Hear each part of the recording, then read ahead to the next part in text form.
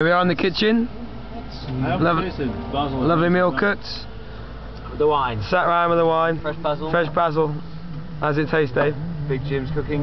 Right. Army right here. Andy? Cheers. Cheers. I'm making sure my army is well nutritioned for the big match on Saturday.